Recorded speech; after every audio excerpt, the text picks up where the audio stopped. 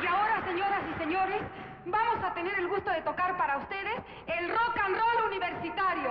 Este rock and roll lo ha hecho con todo cariño para ustedes nuestro arreglista Juan Valdés.